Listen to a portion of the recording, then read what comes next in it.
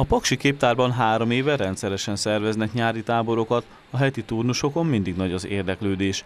Ezen a sikeren felbúzdulva szervezi idén először az intézmény vezetése tavaszi programját.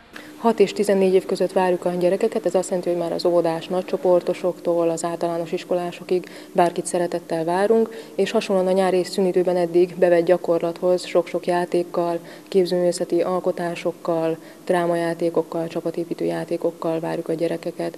Itt a képzőművészeti nevelés fontos, de nem direkt nevelés folyik a gyerekeknek, hanem tényleg játékos formában ismertetjük meg őket a különböző anyagokkal, az alkotás élményét szeretnénk nekik átadni.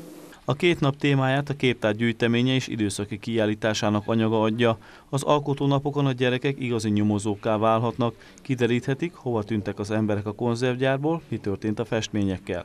Kik és milyen titkos üzeneteket hagytak számukra, s mit jelentenek azok. A kutatás során pedig saját maguk is elkészíthetik alkotásaikat, rejtvényekkel tehetik próbára a jövő látogatóit. Az iskolákban már egyeztettünk, plakátokat kivittünk, több felhívás is került bele az újságba, illetve a rádióba.